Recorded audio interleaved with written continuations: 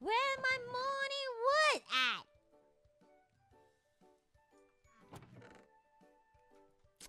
Good to know that I had none.